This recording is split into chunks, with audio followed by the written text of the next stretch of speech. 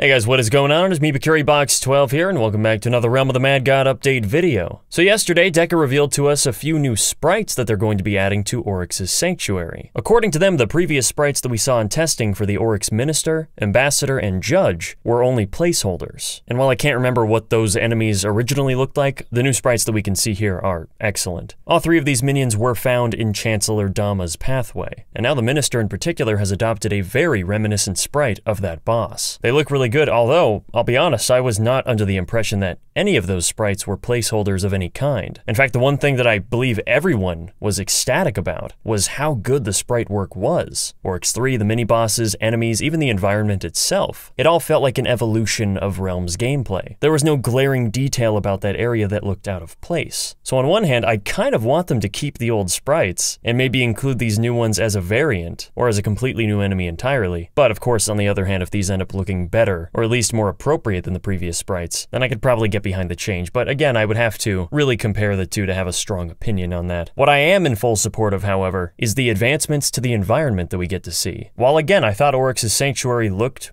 good. Colors were nice, setting was menacing, but in comparison to the high detailed enemies, I suppose it did come across as a bit average looking, linear hallways with the same repeating tiles on the walls. I could see that coming across as a bit underwhelming for what we would expect the final area of the game to be like. So they've given a visual overhaul to at least his boss room. I'm not sure if Dammah's lair is referring to the entire path leading up to him, or exclusively his room. Either way, it looks incredible. A lot more detail going on. Stone carvings, windows, flames, and the light from the window coming in and projecting on the ground, flickering with the fire. Those are the kinds of elements we could not achieve, at least not to this degree, on Flash. This is the kind of technical innovation that we want to see more of now that we're on Unity. Cool effects to enhance the experience and make us feel more immersed in our gameplay. Music was a great step in that direction, and animated flair like this is another. So I'm excited to see what else from Oryx's Sanctuary gets touched up, because from my experience on testing, I thought it was almost ready for release the way that it was. But to see them actually taking our feedback into strong consideration and making some very significant changes, even if only cosmetically for now, means that even people who did get to play through this many times on the testing server will likely still be in for a refreshing experience when the real deal comes out. However, that is all for today. Thank you guys so much for watching,